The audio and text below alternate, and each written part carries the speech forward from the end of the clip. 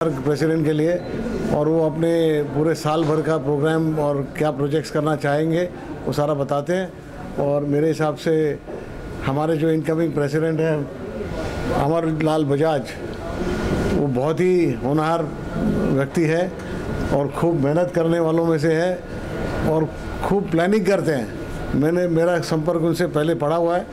और मैं ये जानता हूँ कि वो इतना ज़ोर से प्लानिंग करते हैं कि पूरा साल भर का कितना क्या क्या काम करना है, पूरे, पूरा कैलेंडर उनका बन चुका है।